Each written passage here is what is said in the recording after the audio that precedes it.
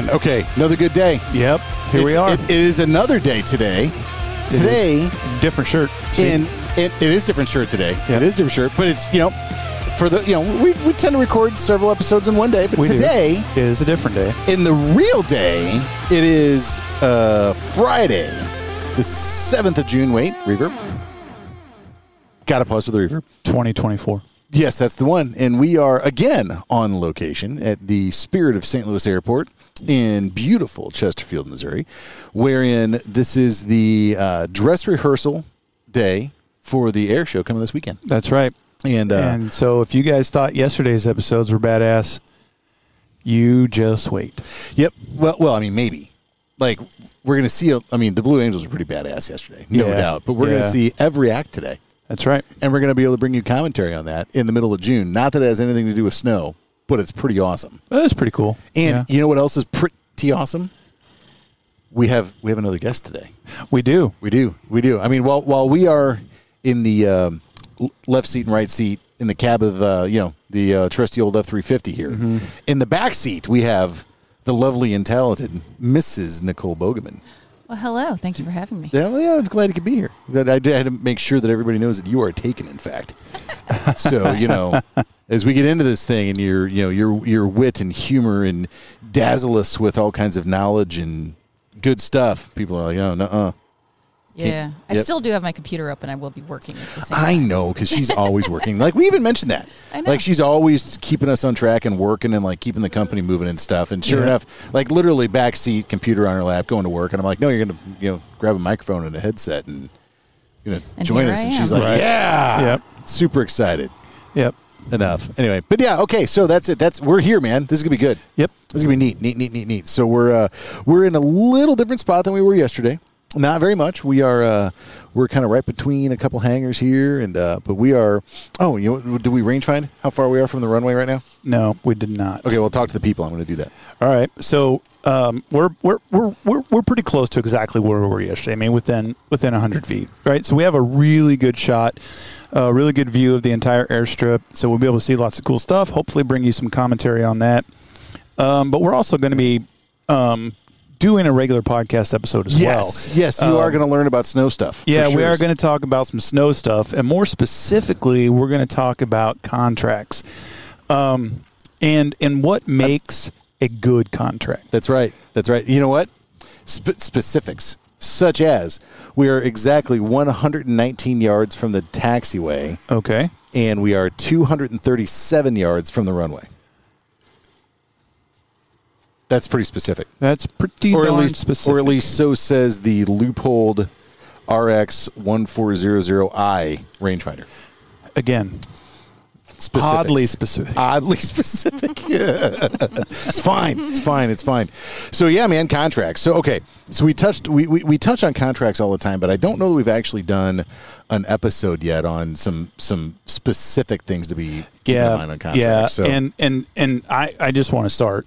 Okay, if fine. you don't mind, Just- by no, just- saying that just take it, whatever. It's your show. always have a contract. Yep. Always. I, I again over the last several months we've talked to hundreds of people and it it is surprising to me how many people will say if somebody calls you the day before the snowstorm or the day of the snowstorm and says hey can you hit this for me can you take care of this lot for me and they go yeah sure it'll be you know 500 bucks whatever we'll be right over man if you don't have a contract with that person you are you are really really setting yourself up Well, and, and a lot of that's because there's there are you know one of the things we if you listen to one of the episodes from yesterday is talking about how on a slip and fall Yep. you don't have you know there's not a contract between the person that fell. However, there's absolutely nothing governing what your what you have been contracted to do.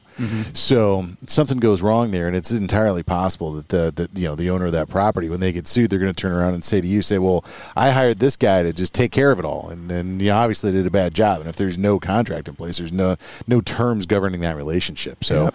yeah, I mean, you, I mean, there's no scope of work. Um, principles. There's no level of service Well, and- outlined. I mean, the, nothing. Yeah, and the other thing is that in this in this day and age, there are a bunch of ways that you can easily have a contract. Um, you know, one thing you can do is there's contract templates that you can you can download online. You can find them there. You can you can get them from us. You know, if you wanted to give us a call 314-260-4352 or shoot us an email at podcast at swintergroup.com. I mean, we have we have contract templates. That's one of the things we do Yep. um, and make it very very easy for you to to to have that set up with a really good contract that's going to give you what you need. Um, you know, another thing you can do is you can put it on your website. You know, you can you know if you assuming you have a website, you can tell you know customers of yours, people that are going to call you, you know, the onesie twosies that need help, say, okay, yes, we can come do that for you. I need you to go to our website, fill out the form and there on the bottom of the website, you know, in, in, in the bottom of that form, it says you agree to our terms and conditions, and bam, the terms and conditions is the contract. Yep. And so now you you at least have some type of written communication from between you and the customer, Yeah. outlining and detailing what the responsibilities are. Yep, exactly. yeah. And I, I think we'll go through the rest of this episode with the assumption that you're always going to have a contract. Yes. And so then we'll just kind of talk about what makes a good contract and what the good ideas and the bad ideas are. It'd be more fun if we yelled about it. we just started getting all mad at each other and belligerent. yeah. Yeah. You know, you know, what the Maybe later after we hit the cooler. You know, we could uh, see if we could we could see if we can get a podcast flagged for profanities. That'd be kind of fun. I don't think we've ah. done that yet. Yeah. Yeah. Anyways, what what are you what are you laughing at back there? Oh, just that's funny. Well, see, there, uh, bam, first one. We got it. we got to chuckle out of Nicole. Nice. All right, right on. Okay, so yes, you do in fact have a contract. Is going to be our assumption. I'm good with that. All right. So all right. So so you've got it. Something else that you want to be sure to have is make sure that it's actually signed, dated. Like there's there's some type of a written. Um, uh, scribble or, uh, or or documented activity of some kind whereby you can prove, yes, I agreed to these terms, this scope of work, and this information on this date. Here's when it happened. Yep. And I can confirm to you that my customer did in fact agree to these on this date. And it isn't somehow somehow in writing, whether it's Yeah. uh, an email that was transmitted or it's a, a you know ink on a piece of paper. It was signed digitally on an iPad and an Apple Pencil. They filled out a form on the website, something like that Yeah. that you can point to that has a a, a, a documented you know agreement and a date. No, for sure. And the electro, some of the electronic signatures, you know, you can click here to e-sign and it captures your IP address and the date and the time. Those are those are perfectly legit as well. Yep. Um, And and if it is if it is an email transmission though, one thing you need to make sure of is not to you know somehow delete that or accidentally archive it somewhere. You need to make sure that email either print a copy of it and keep it with the paper contract if that's what you do, save the email as a PDF and and put it with your PDF. Uh, Whatever it is, just make sure that you don't somehow accidentally lose that communication because Not- that's that's really Yeah. easy to do. Oh yeah, yeah, absolutely. Call. Yep, yeah, yeah, hundred percent. No, you're totally right. Um, you know, another thing is that you have to. Anything else on on that before we move on? To? No, I think we we beat we've beat signed, signed and dated. Signed and dated. There you go. Right on. Okay, cool. So yep, signed, dated. You know who did it when, And um, saved. and saved. Yes. Oh Man, yeah. Have And you been? Have you, now, when you say saved, do you raise your palms to the to the to the to the air? I've been saved. You've been saved. Nothing. No. Okay. Anyway, so um, so you know the you have to also make sure that you that, that you have actually you understand what you've agreed to, and that your customer understands what you've agreed to. That's right. Because what will happen is, you know, yes, they signed the contract. Yes, you signed the contract, but then later, when there's questions, and it's well, that's uh, that- that's not what that meant. Yeah, that's not what I didn't mean for that to be what it was. Well, then you maybe you should have read it. Right. you know, and and a lot of times, you know, there's you know contracts are written in in some type of foreign gobbledygook language that doesn't make any sense to anybody. And so, you know, when that happens, you know, it it, it certainly does happen and you you know, you you wind up agreeing to things that you didn't necessarily know you were agreeing to. Yeah. And that's of course problematic. So, you know, you want to make sure that your customer understands at least to the best of the ability and that you understand to the best of your ability. If there's something in there that you don't know what it means, then get with somebody that can tell you what that means. you know, now that doesn't necessarily mean you've got to hire an attorney for three hundred dollars an hour to decipher a contract for you.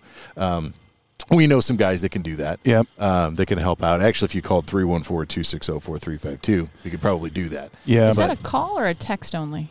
Either one. It's Either fine. one. Okay. You can call or text. Yep. If you don't want to talk to me, which I wouldn't blame you, you can certainly text and it'll be fine. Yep. But um, but you know, but feel you know, but find somebody that you can ask a question to. You know what you know what does this mean? What is happening? What's going on? And speaking of what is happening, did you see this chair? I this did. Just I was up? just about to. I was just about to draw your attention to that this as dude well. set up a folding It is chair a that's freaking a rocking chair.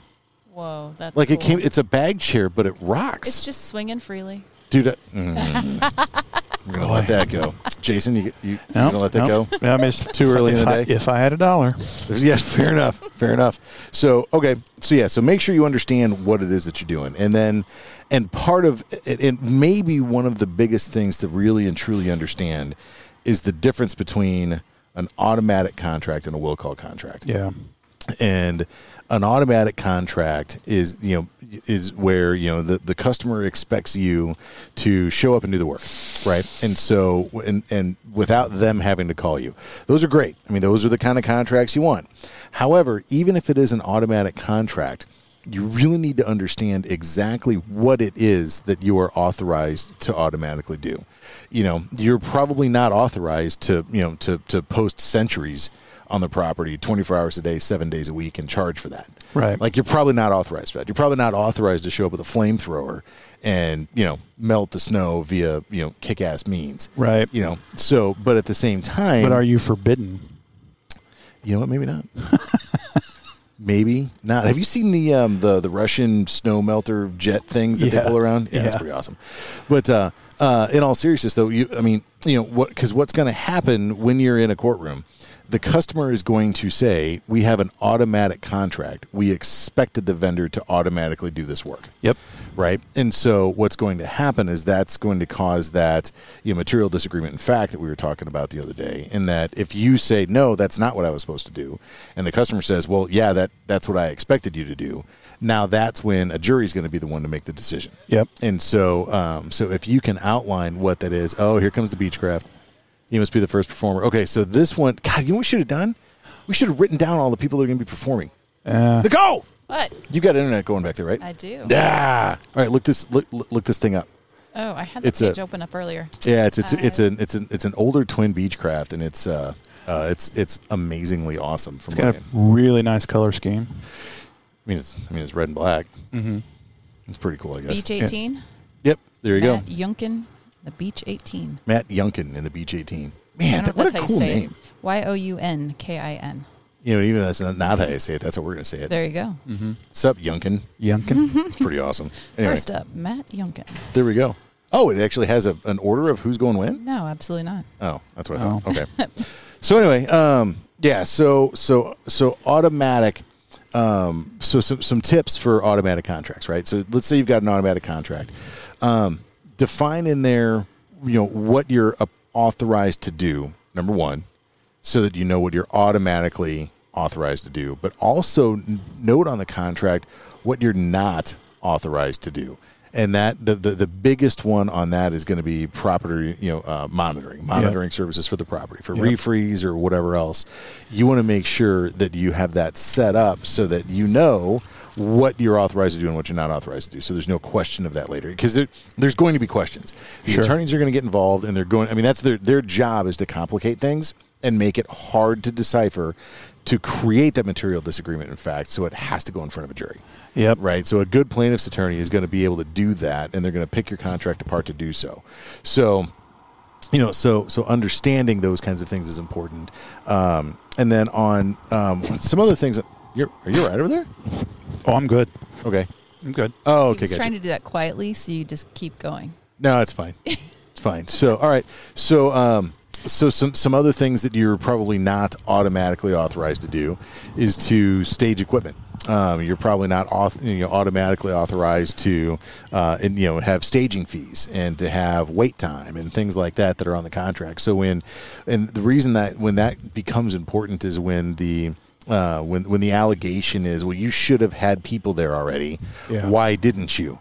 and you can say, well, I, I mean, I, you know, I, I, you know, I, it's a one inch trigger, man, and there wasn't, you know, there's an inch of snow on the ground. We got there an hour later. That's pretty good. Yeah. Well, why didn't you have them there earlier? What prevented you from having somebody on site? It's an automatic response. You should have automatically been there. You know, and those those types of things come up and happen. So, you know, really think through all of the things that you have to do and think about what are you authorized to do and what are you not authorized to do when you have an automatic dispatch on the contract. Yeah, and that's that again becomes particularly important, like you mentioned for refreeze, um, you know, next day or third day or whatever on refreeze monitoring. Now, you know, if if that is something you're going to do, it needs to be in your contract. Now, if it's not in your contract that you're going to do refreeze monitoring, um, and correct me if I'm wrong here, Ken, but my advice would be to not do it not say, "Oh, you know what? As a freebie, I'll Oh, just run by there real quick." Absolutely. If it's not, if you're not con- contracted to perform that service, don't perform it. Right, because that's if- my advice. Yeah, if you do, now you have to go all the way through. So if you go there and you and you say, "Nope, I didn't find any ice." Okay, and then it turns out there was ice, and somebody slipped and fell. You you own it. Right. Um, if it's, you know, you know, at the same time, if you go there and you do find ice, and then the property manager says, "No, I'm not going to let you service," okay, well, fine, but you got to document that really, really, really, really well. Yeah. Um, but to your point, Jason, at the end of the day, if you are not authorized to do a service, do not perform that service. If Right. the customer says, "Hey, will you go by and take a look at that?" say yes, and then send them a bill to do it. You know, you, you know. Um, and here's another thing that we see all the time too, is is uh, oh here comes Younkin rolling down the runway. I'm waiting for something exciting to happen, but the people listening don't know what's going to happen. No, they can't see You it. know if it's exciting. No idea. He is off though. He's No. in the air. Oh my gosh! It's in the air, gears up. Gears up, and he's 25 foot off the deck. There he goes. I hear him. Man, that Not sounds quite. good. That does sound good. I dig that. Seems Yeah. like he might be first then. Yeah, there you go. Well, yeah, we saw him taxiing out. There's Nicole. But is he? But is he just gonna fly, or is he gonna do cool stuff? No, he does cool stuff. Okay. Yeah. So, anyways, um, so so you know something that we see a lot of times, and this happens particularly with nationals. You know, and we've you know we've on this show and in in forums and I mean things that we've done. We we are not uh, an outfit that bashes the nationals. That's not something that we do. Um, you know, they've got their place, and if you and if you play along with them, you're going to be fine. Um, that said, what you do need to understand and realize is that a lot of the nationals will put in their contract that you have to monitor the the property. Now, here's something. They can't make you perform a service and not compensate you for it. So, something that you need to keep in the back of your mind is okay, how am I being paid on this property? So, if you're being paid a flat rate, a flat rate seasonal amount, and that scope of work includes monitoring services, you got to monitor. It's not. Yep. It's. I mean, that's not a choice you have. You can't send a bill for it. It's not something that then magically happens later. You have to. You absolutely must provide that service, Yep. and you cannot charge for it. It is included in your scope of work, and you're paid seasonally for it. Now, if you're on a property that pays you per occurrence, and the scope of work requires you to monitor, now we get into a gray area. Yep. Okay. This is where the contract requires you to do it. The contract does not specifically provide you uh, um, um, any compensation for that service. However, it does require you to do it. So that's something where if monitoring is required and you're paid per service, if it was me, I would be asking my customer or the national or whoever it was I'm working for, you know, what what is my compensation for this? Right. So what is how do I get paid for this monitoring service? And um, see what they say.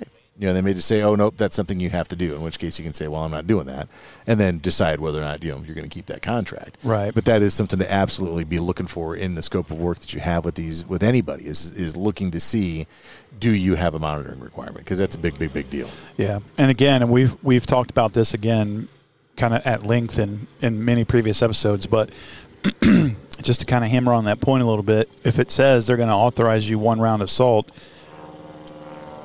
compensation wise, but then you also have to monitor the property.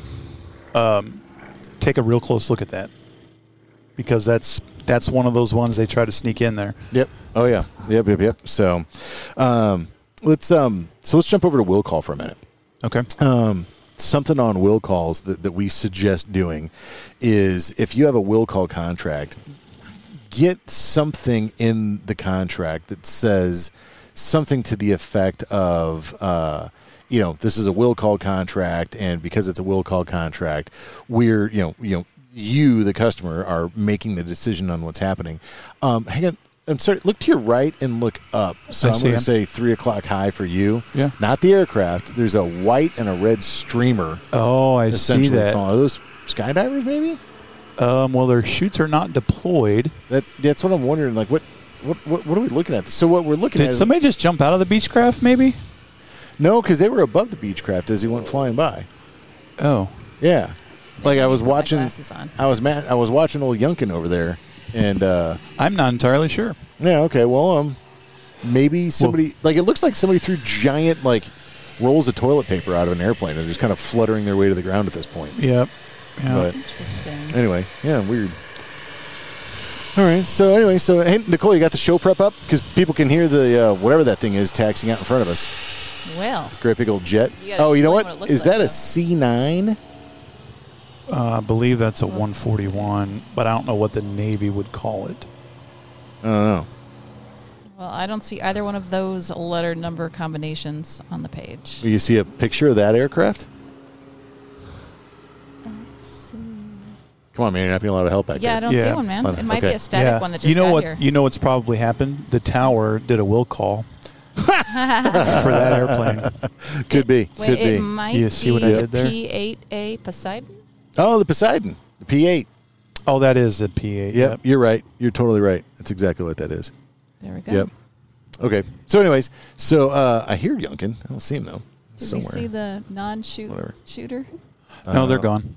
Oh no, they're way over oh, here they're now. way over there. But they're Yeah, low. I don't know what they're like. They're not landing anywhere near the. Uh, Well, whatever it is, is just drifting with the wind. Yeah, and it's just coming down in the trees. It's over in the there. trees. Interesting. That's super weird, dude. Yeah. Hopefully, all is okay. Yeah, I mean, that's dangerous. Anyway, whatever.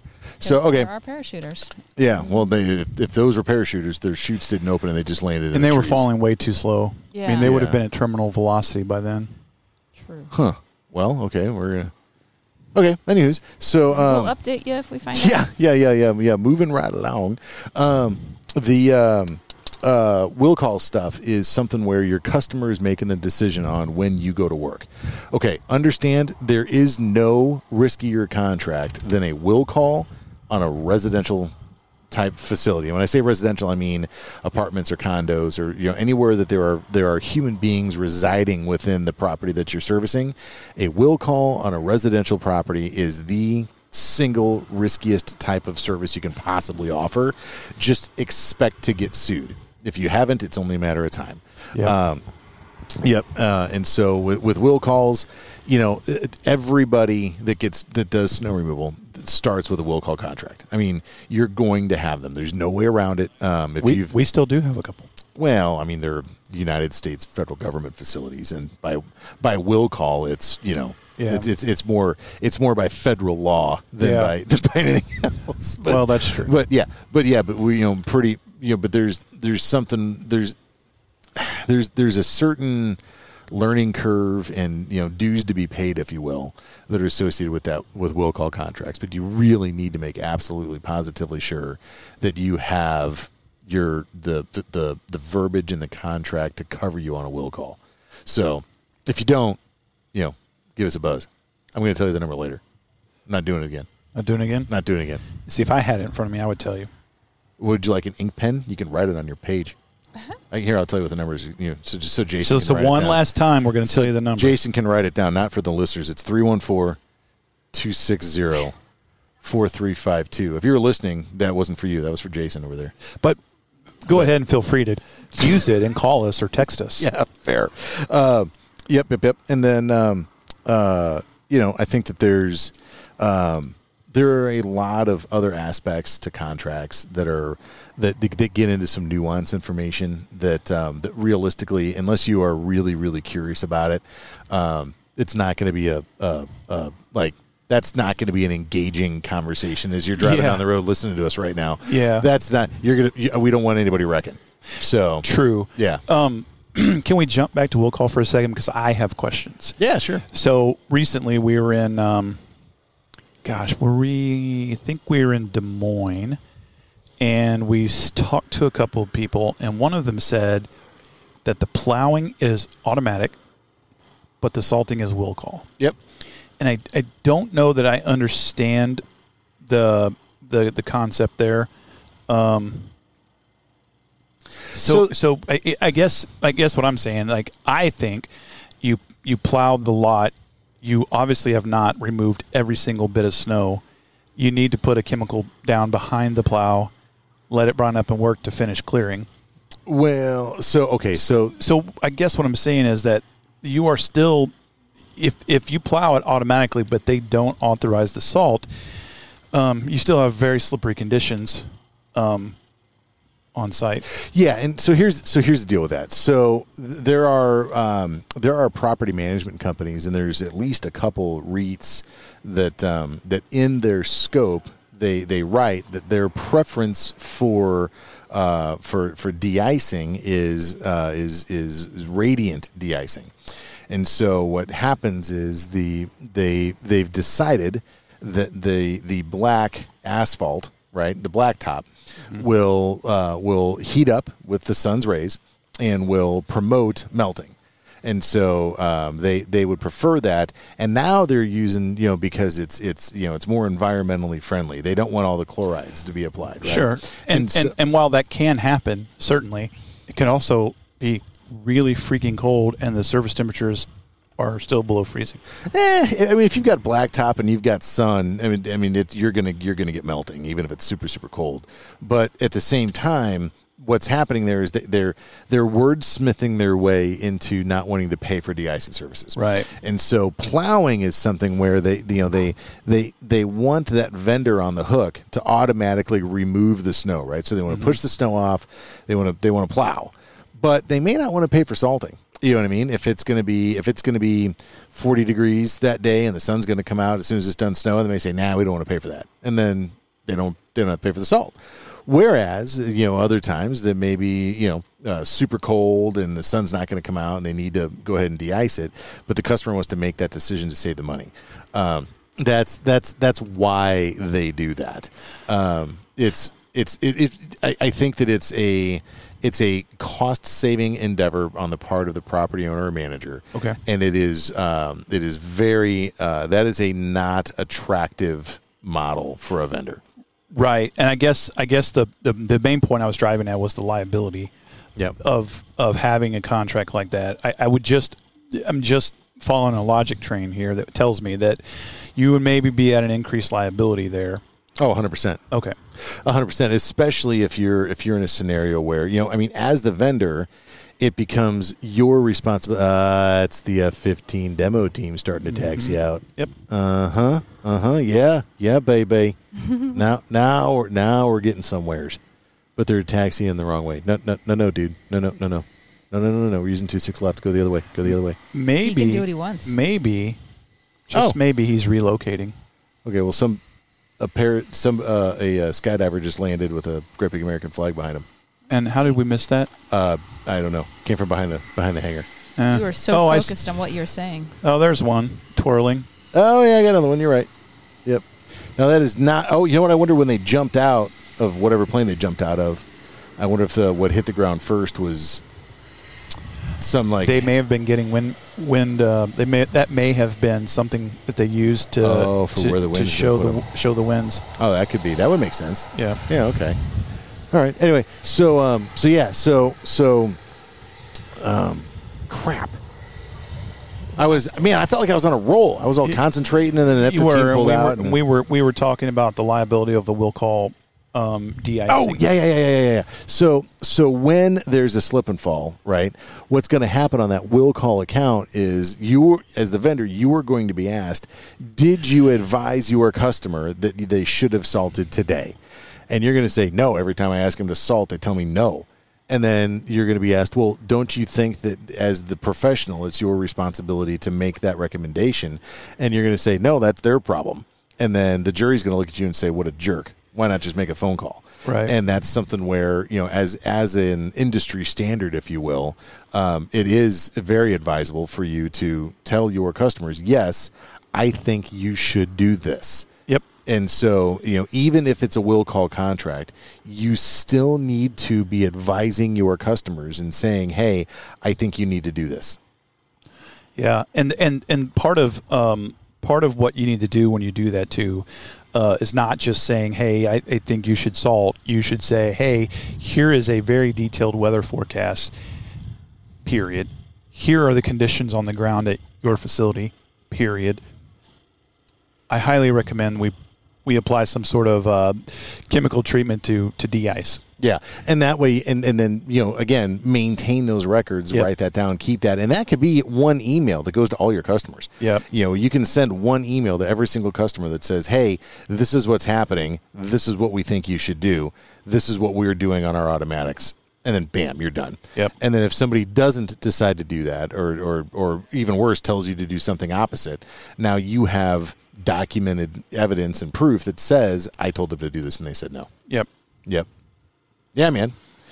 So, um, so yeah, I'm gonna. I think we're gonna call it there on contracts for now, because I mean, really, anything else gets. I mean, you start getting into, you know, jurisdictions, and you start Sure. getting into, Yeah, you know, what you know, the different types of courts and how you're gonna do this. and how you're- I mean, there's there's a lot of things that happen in contracts that don't, that just that, that they're not they're not fun. Yeah, you get into city, county, state, cross jur- jurisdictional stuff, and we're just not going to do that. Yeah, no, we're not gonna do that. So we are gonna let you all go though, because love y'all. Yep. Yeah. Bye. there you go. So um, yeah, we're gonna we're gonna keep doing stuff here though. So um, hopefully you uh, hopefully you hopefully you're liking these things. If you are, we would uh, we would like to hear from you. I mean, we can see people downloading this thing. We can see people you know listening to it, getting views on YouTube's and on all I mean all the platforms. I mean, we we know y'all are listening or at least downloaded. So uh, shoot us something. Let us know what you think. Um, we'd love to hear from you. Area code 314-260-4352. Or you can email us at podcast at swintergroup.com. Either way, love to hear from you. Talk to you soon. See ya.